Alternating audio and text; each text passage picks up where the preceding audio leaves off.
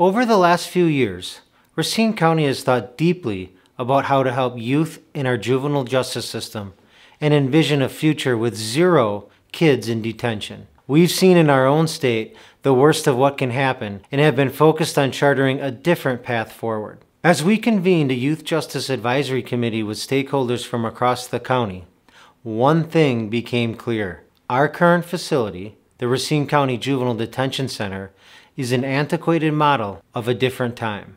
Confined spaces and prison bars are no way to help a child become a productive member of our community.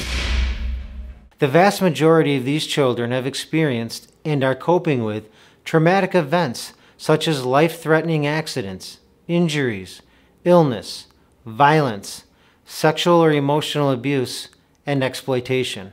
Fortunately, an opportunity to improve youth outcomes without placing additional burden on taxpayers is before us. With the impending closure of Lincoln Hills, the state of Wisconsin awarded $40 million for Racine County to construct a modern, trauma informed, secure residential care center for children and youth. Our facility will be known as the Racine County Youth Development and Care Center. The center will transform our youth justice program, deliberately target racial disparities, and lead to better outcomes for our youth. We can't wait to get started. But it's crucial we get this right. We must create the best center we possibly can, one that transcends typical juvenile justice to accomplish our ultimate goal of zero detentions. The estimated budget to acquire the necessary land and construct the new center is $42.1 million.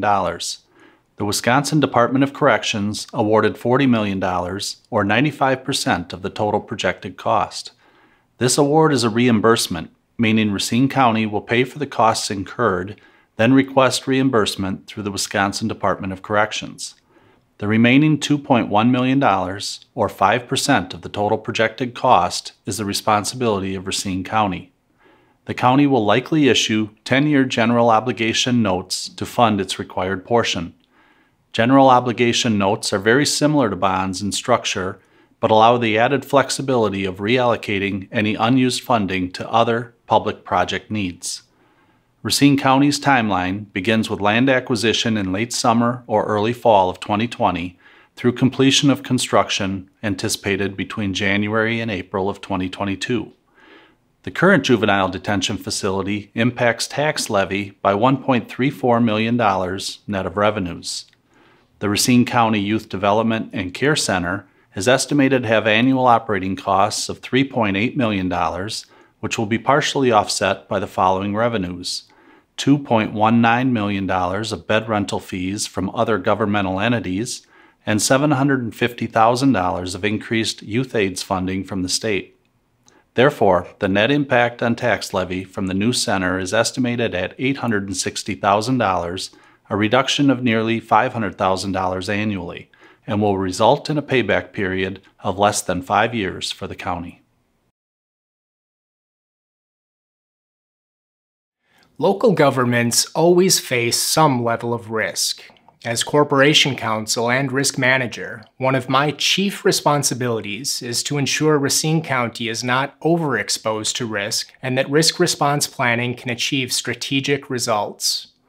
Under law, counties must make certain services available, and we owe a duty of care to youth within the juvenile justice system. There is growing evidence that childhood trauma exposure is a key risk factor for later involvement with the juvenile and adult criminal justice systems. We could simply contract with other counties for detention services, but doing so may simply further the psychological distress of youth and contribute to worse legal outcomes which negatively impact the individual and community at large. We believe the impact of a facility design that includes trauma informed care, a strong educational component, and family focus preserves our ability to influence, control, and improve outcomes. I've concluded that the Racine County Youth Development and Care Center represents an unprecedented opportunity to improve our juvenile justice system and dramatically reduce the number of young lives damaged through harsh and ineffective responses to youth crime. It will benefit everyone traumatized youth, their families, adults responsible for public safety, and the entire community, and outweighs the legal risk. In fact, the greater risk is letting this opportunity pass by and maintaining the status quo with the existing antiquated facility. I have been a part of the Youth Justice Advisory Committee since the beginning and was involved in setting the vision, design, and programming of the Racine County Youth Development and Care Center. The Racine Family YMCA is also a key partner in the overall youth justice programming with the Credible Messengers program. The Credible Messengers program brings real life experiences and credibility to help youth make positive choices and turn their lives around. We believe this is a critical component to the overall youth justice continuum. Me and my team of Credible Messengers toured New Beginnings, a state of the art youth residential center in Washington, D.C., which serves as a model for our facility. We spent the night at the facility to understand the different programs and activities provided to the youth. With a firsthand understanding of the facility design and operations, I'm proud of the county's commitment to building a modern, trauma-informed facility right here in Racine County.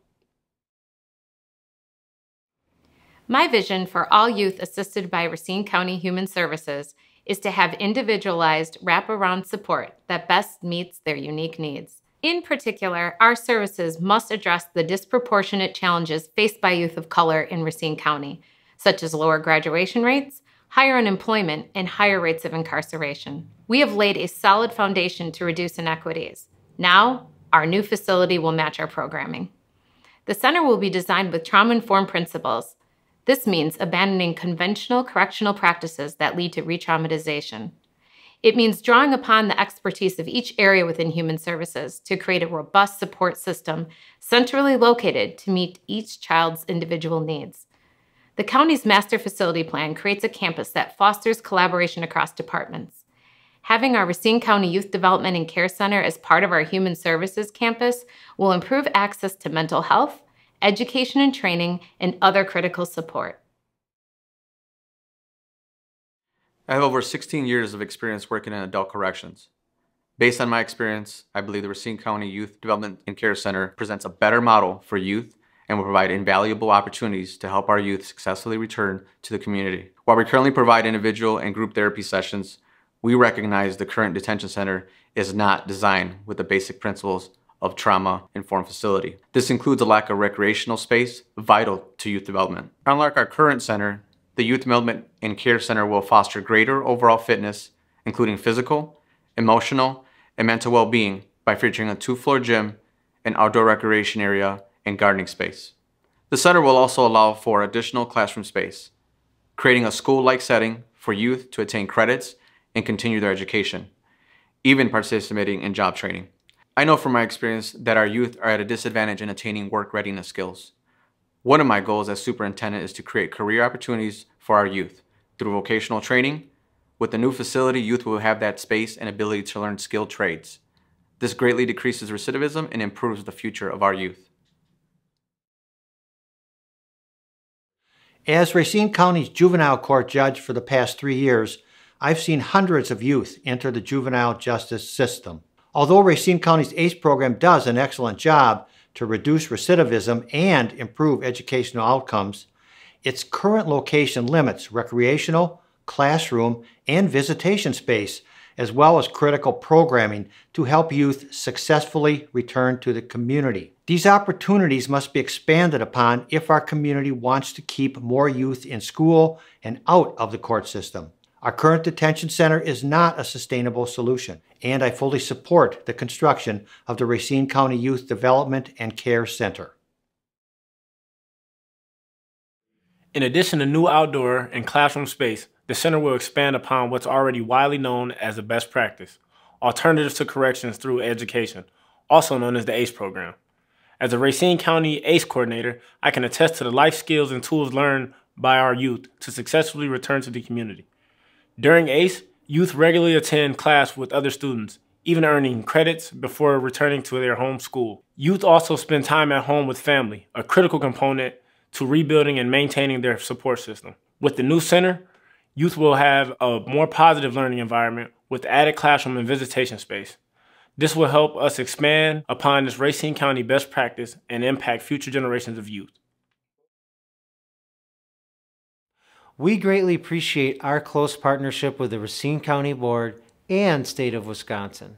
Working together, we have made tremendous progress toward a center that will truly support children who need our help. This much is certain. We cannot continue the status quo. We must do better for our kids. And if we can make our children and families stronger, we will make Racine County stronger. We're excited to continue moving forward and make the Racine County Youth Development and Care Center a reality. Thank you for your continued partnership and support to this vision of zero detentions.